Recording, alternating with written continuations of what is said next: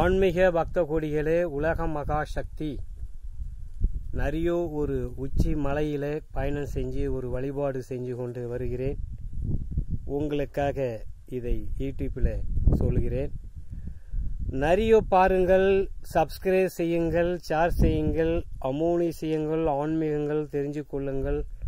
ஆன்மீகம் உலகமெங்கும் பரவசமாக சரித்திரங்களை உருவாக்கி இருக்கிறது நம் முன்னோர்கள் நமக்காக சொல்லி கொடுத்திருக்கக்கூடிய ஆன்மீகங்கள் கலாச்சாரங்கள் தெய்வத்தால் உருவாக்கப்பட்ட அருவிகள் மலைகள் இதையெல்லாம் நமக்காக சரித்திரங்களை உருவாக்கி இருக்கிறது நண்பர்களே நிறைய இந்த மாதிரி தகவல்களை உலக மகா சக்தி யூடியூப் சேனலில் பாருங்கள்.